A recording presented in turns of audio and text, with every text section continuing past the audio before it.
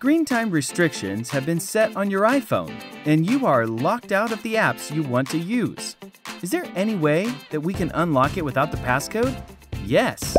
Here, I will show you two methods to unlock screen time restrictions. First, go to Settings, tap Screen Time, scroll down, and tap Change Screen Time Passcode. Hit on Forgot Passcode. Enter your Apple ID and password.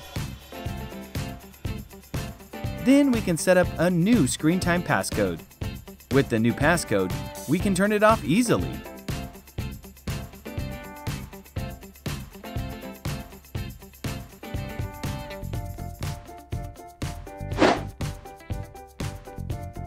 However, if your phone is given by your parents and they didn't tell you the Apple ID password, this might drive you mad.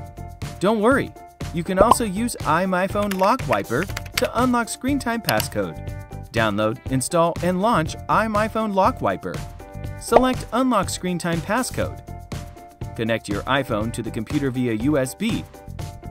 Click Start to unlock. This process will be done. Then you need to restart your iPhone. Alright, this is today's video.